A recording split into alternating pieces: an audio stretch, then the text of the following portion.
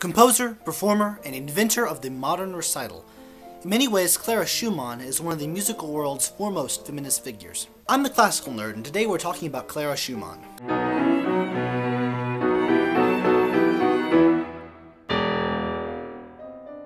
Clara was born Clara Josephine Wieck in 1819. Her mother was always very kind to her, but she did not see much of her after the age of five, as her father had an affair and had divorced her mother in favor of his mistress. This was an era when divorces were very uncommon, and it was a big social stigma on her mother.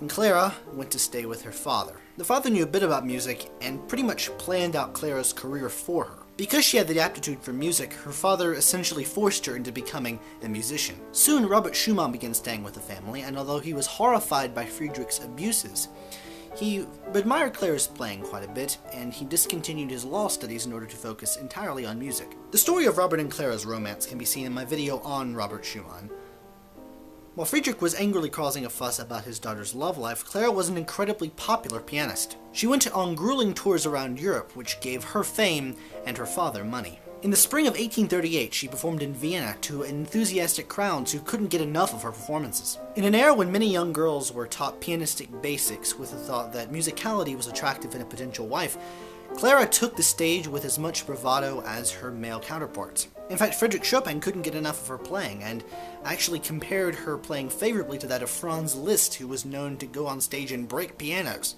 During the end of her time in Vienna, she was named Royal Imperial Chamber Virtuosa, the first time that esteemed honor had been given to a woman, a Protestant, a teenager, or someone who wasn't born and raised in Vienna. But Clara was not just a performer. In fact, she held her own in the compositional world despite the fact that said compositional world was pretty patriarchal in nature. Her friend Felix Mendelssohn was one of the few composers who actually gave credence to the idea that female composers could be just as good as the men, and in fact he actually laughed in the face of an acquaintance who was surprised that one of Clara's chamber pieces was so good. Clara and Robert's early pieces contain similarities to each other, reminding them of their love, and although communication between the two was banned by Friedrich, he still let Clara perform many of Robert's pieces. Once Robert and Clara married, their lives were more intertwined than separate. Between them, they only had one piano in the house, and Clara often deferred its use to her husband because she thought that composition was the greater of their two arts. She raised their many kids and somehow was able to add to her repertoire despite not having much piano access,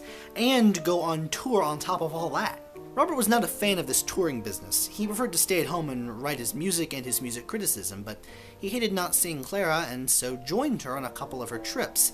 During an especially grueling tour to Russia, he nearly died, and after that his mental health was never really the same, although it really wasn't all that strong to begin with. In May of 1849, the couple found themselves in Dresden.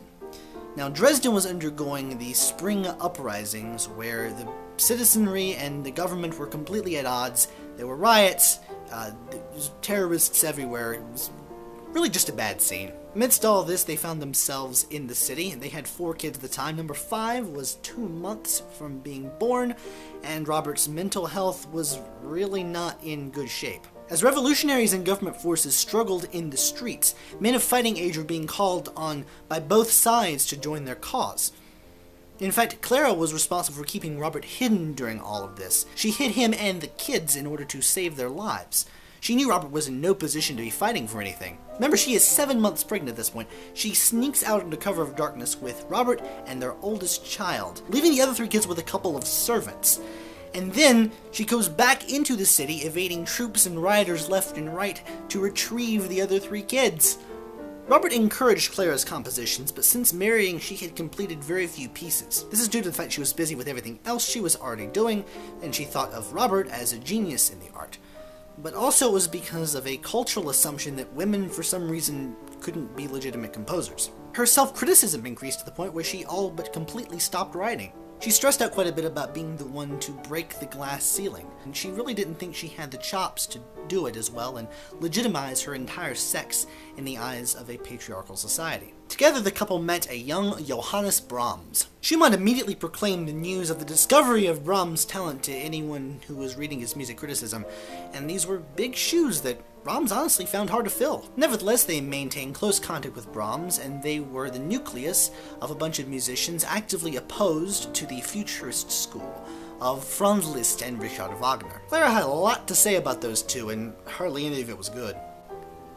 Eventually, Robert's condition led him to hospitalization, and he died two years later. Among those who sought out arrangements for Robert's comfort during those last two years was Brahms, who actually investigated different mental hospitals in the area and came to the conclusion that the one he was at was the one that favored the most humane treatments. Clara, meanwhile, was forced to go back into a public spotlight that she had let wither. She arranged tours all over Europe and even considered coming to the United States. She settled for tours around the continent with occasional excursions to London, much like Haydn a century before, where she was incredibly popular. Throughout all of this, she was influential in dictating essentially what the modern recital program is. Although Franz Liszt can be credited with inventing the term recital and turning the piano sideways so that audiences could see hands flying up and down the keyboard, she was influential in establishing what was actually on the programs.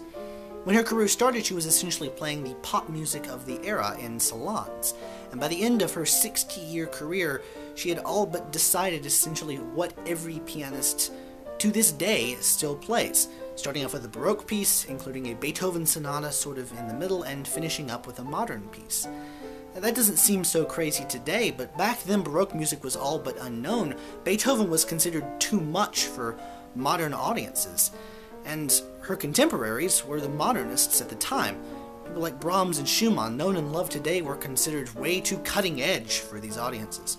But she knew when to introduce these pieces and that was the key to her success. The fact that she pretty much single-handedly shaped this is an incredible feat unto itself.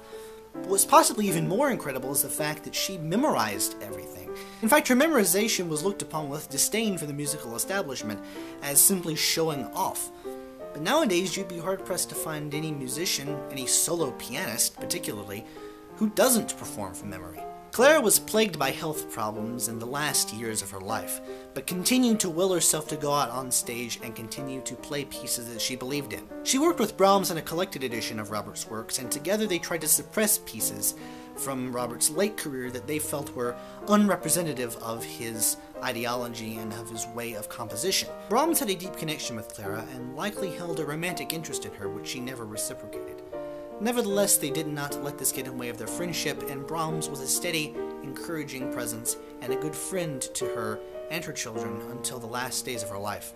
In late life, Clara taught at the Hoch Conservatory. While there was a good deal of open hostility to having a feminine presence on the faculty, her students absolutely loved her and continued to carry on the traditions and the things that she had instilled into them. Who knows how many of the adages of modern piano playing originate or were passed on or kept alive by what Clara did with her students. Shortly before her death, after her concertizing career had concluded, her children convinced her to write down short improvisatory preludes that she'd use as warm-ups.